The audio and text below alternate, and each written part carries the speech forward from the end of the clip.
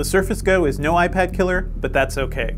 It's still Microsoft's smallest and cheapest tablet yet, though the specs would make hardware nerds laugh. In many ways, it brings Microsoft closer to its original dream for the Surface line. It's almost as light as an iPad, but it can also run most of the Windows apps you need. While the Surface Go certainly won't replace more powerful laptops, it's an intriguing option as a secondary device, especially at a low starting price of 399 without a keyboard. You just have to be aware of its limitations.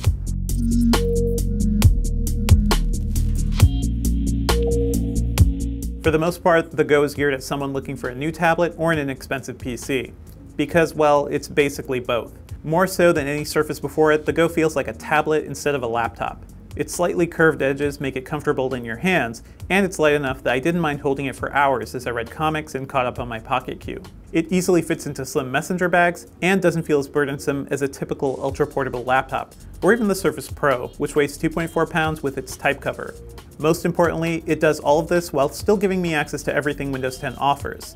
But like any ultra slim machine, there are compromises. For one, the Go ships with Windows 10S, which limits you to apps from the Microsoft Store, you can switch to unfettered Windows 10 Home for free, which I did for this review, but that's still an added layer of confusion. Plenty of people might be scared off by the warnings that appear the first time you try to install a third-party app while in S mode. It's understandable why Microsoft wants to control the app experience, since rogue software is a major reason why PCs start feeling sluggish over time. Not to mention, they could be a major security risk. But the restrictive approach is, let's say, unpalatable when the Microsoft Store is such a barren wasteland. There are a handful of popular services like iTunes, Spotify, and Netflix, but you won't find any major newspapers like the New York Times or apps that really take advantage of the tablet format. Instead, you'll find yourself spending more time browsing websites in Edge. And while it's nice to have a native web experience in a tablet, I long for apps optimized for slates, like you'd find on iOS and Android. We're used to tablets being consumption devices, and the Surface Go fails a bit in that respect, since Windows 10 isn't specifically geared towards slates. But on a rosier note, the Surface Go shines when it comes to being productive. Mostly, that's because Microsoft delivered another killer type cover. The smaller form factor takes a bit of getting used to, but it wasn't long before my fingers were flying across the keys. Touch typists will appreciate how Microsoft shrunk down the standard keyboard layout, and there's a slight curve along the keys to guide your fingers to them. I had no trouble writing most of this review and long articles on the Go's type cover. That's more than I can say for Apple's iPad Pro Smart Keyboard, which feels like you're typing on a soiled sponge. I was surprised that Microsoft was also able to fit in a large glass-covered trackpad and that it feels just as good as the Surface Pros. It's smoother and more responsive than most laptop touchpads I've used. If you haven't used the Surface kickstand before, there's a slight learning curve, especially as you figure out how to balance it on your lap. But while it might take some finagling, I've learned to appreciate the flexibility.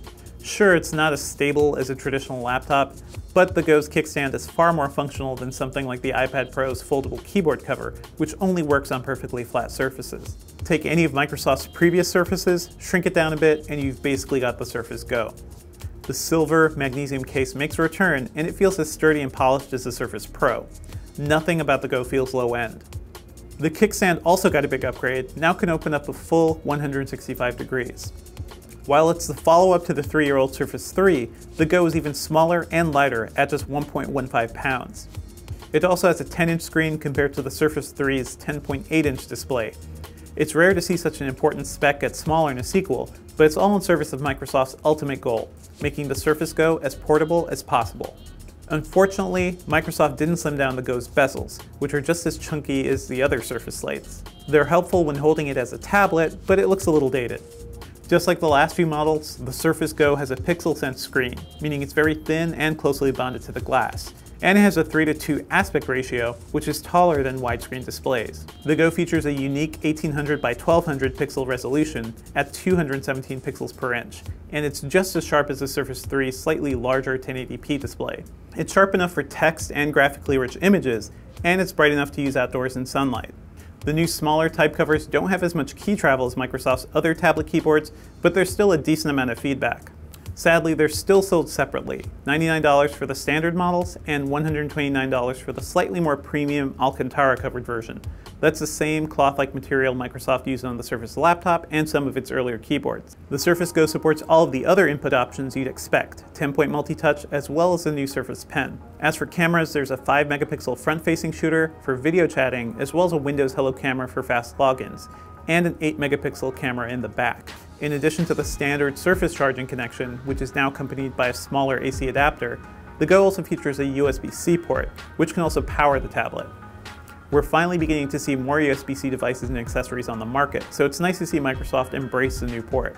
Microsoft also tucked a micro SDXC card reader underneath the Surface Go's kickstand, which lets you quickly add more storage. While I found myself more productive with the Surface Go than any other tablet, I still had to keep my expectations in check. It's limited by the dual-core Pentium Gold 4415Y CPU, a low-power 7th generation Intel processor. Microsoft claims it's around 30% faster than the Atom that was used in the Surface 3, and our benchmark show it's a noticeable improvement. With our review model, the slightly souped-up $549 Surface Go with 8GB of RAM, I was able to juggle between multiple Chrome and Edge tabs, Evernote, Spotify, and Slack pretty easily but the Pentium Gold CPUs sometimes had trouble keeping up when I tried to load a complex web page with embedded video, or when OneDrive decided needed to resynchronize all of my files. Basically any task that's the least bit demanding would rocket my CPU usage up to 100%. With all of my apps open, I typically used around 70 to 80% of my 8GB of RAM. But the situation would certainly be worse on the entry-level Surface with 4GB of RAM. The thought of using a Windows 10 PC with so little memory actually makes me anxious. Eventually, I had to train myself not to think of the Surface Go as a full-fledged PC, but as a tablet that would occasionally open up Windows 10 applications when I needed them. In our battery test, which involves looping an HD video until the computer dies, the Surface Go clocked in at 9 hours and 50 minutes well above Microsoft's 9-hour estimate. Of course, that figure will drop depending on what you're doing. With my usual workflow, it typically lasts around 6 hours before the battery completely drained. The Surface Go starts at 399 with the Pentium Gold CPU, 4GB of RAM, and 64GB of eMMC storage. The step-up option, which we reviewed, goes for 549 with the same CPU, 8GB of RAM, and a 128GB SSD. Given that eMMC storage is notoriously slow and 4GB of RAM is practically useless, I'd recommend considering the more powerful model. And don't forget, you'll have to pay another $99 for the type cover, or 129 for the Alcantara version, and another $100 for the Surface Pen. Asus's Transformer Mini is similar to the Surface Go, and a better deal, starting at around $379 with a bundled keyboard and stylus. But it's just as underpowered as the Go, with an Atom X5 processor and 4GB of RAM.